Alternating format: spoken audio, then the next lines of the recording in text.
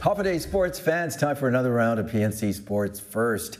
Leo Payumo, your Guam sports guy here. And starting off, girls high school volleyball quarterfinals. This was two nights ago over at the St. John's High School in Upper Tumon. St. John's Seed 4 hosting George Washington Seed 5.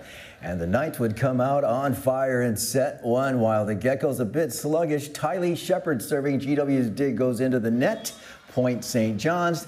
That'd make it 20 to 4 Knights. What a lead. Now it's senior Hallie Wigston with a wicket shot for another point, and it's going to be Wigston again sending down another hard slam. It's going to be 22 to 5 Knights. Gecko Aubrey Chargilov serving now, and it's going to be number 20 Wigston again. Watch it right here with another power slam. And then Knights number one, April Kim will finish off the set with this serve off the top of the net that drops in.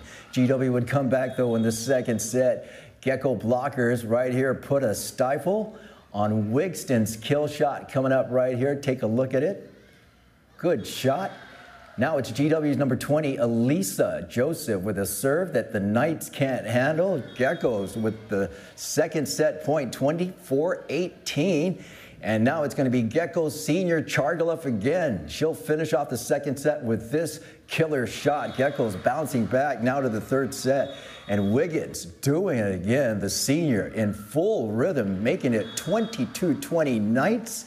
GW's Bree Chargilov with a kill shot will bring GW back to within 1, 22-21, but Wiggins right back with another power slam. Too much for the Geckos as the St. John Knights win this quarterfinals in four sets and now advance to the semifinals to meet up with the JFK Islanders this coming Friday night.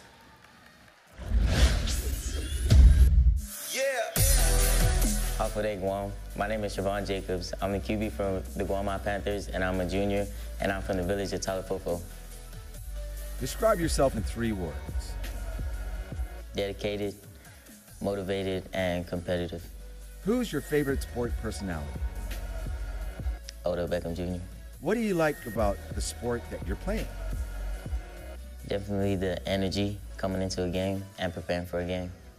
Do you have a signature move? And what do you call it? I usually just throw up a peace sign whenever I throw a football or like whenever I throw a pass or a touchdown. Name the top person that gave you advice in the sport that you're playing now. My own dad, assistant coach. Who's your favorite sports team? The LSU Tigers football team. And because they're kind of like our team, they'll design the run to open up the pass. How do you prepare yourself before a game? I usually just hydrate all day, make sure I get my pregame meals, and make sure I get some rest before a game.